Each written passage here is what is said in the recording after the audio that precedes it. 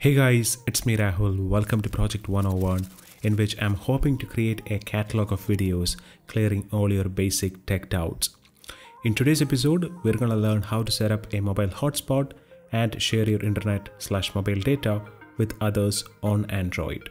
For setting up a hotspot, you need to go to settings. Look for a Wi-Fi hotspot or personal hotspot option.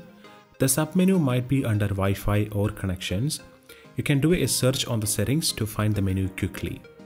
Then once you open the setup, it is as simple as giving your hotspot a name, then choosing your security. If you put none, your hotspot will be open and anyone can connect. So better to choose WPA2 or 3.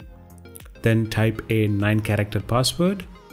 Then the next one might be choosing your access point band 2.4 or 5 GHz. 5 GHz has more bandwidth but limited range and for 2.4 the opposite. Then once you are done setting up, hit on OK. Let's look at how to share your internet with others. So to enable mobile hotspot, first you need to enable mobile data from the quick tiles menu or from the settings. If you don't enable mobile data and then go on to enable hotspot, it will be like creating a Wi-Fi access point without internet connectivity. So once you have enabled mobile data, you can enable mobile hotspot by going to Quick Tiles and looking for a portable hotspot icon. Tap on it to enable it. If you don't find it here, go to the previous menu where we have set up the hotspot and there should be a menu for enabling the hotspot. Tap on it.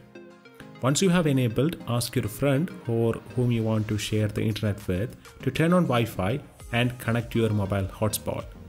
If you disable mobile data, the Wi-Fi access point will be there, but it won't be connected to the internet. It will be like a local network only.